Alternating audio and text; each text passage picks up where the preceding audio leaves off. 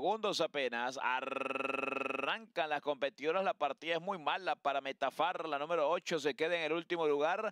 Viene rápidamente por la parte central de la cancha. Ágata a tomar la punta. Ataca más afuera. La número 9, Royal Command, se acomoda en el segundo. En el tercero por la baranda, Show It Out. En el cuarto intenta meterse Golden Journey junto a la número 2, eh, que, está en el quinto. Le iba Highland Heaven. Más atrás intenta mejorar por la parte exterior de la cancha. La número 7, Sweet Med. En el penúltimo aparece el 5. Le iba For the Good Times. Mientras que en el último aparece la número 8, Metafar. 23-1 el parcial para los primeros 400 metros. Ágata está en punta. Ventaja de medio cuerpo sobre Royal Command que está en el segundo lugar. En el tercero Golden Journey. En el cuarto por el centro se mueve bien la número 7 Sweet Med. Luego trata de movilizarse por la baranda Show It Out. En el antepenúltimo aparece la Ivo Highland Heaven. Penúltimo para el 5 For the Good Time. Mientras que la número 8 Metafar está en la última colocación. 48-1 para la media milla. Ágata se mantiene en punta. Ventaja de cuerpo y medio. Royal Command está en el segundo. En el tercero intenta meterse en la pelea Golden Journey. En el cuarto por la baranda contenida. La lleva Show It Out que trata de buscar un pase.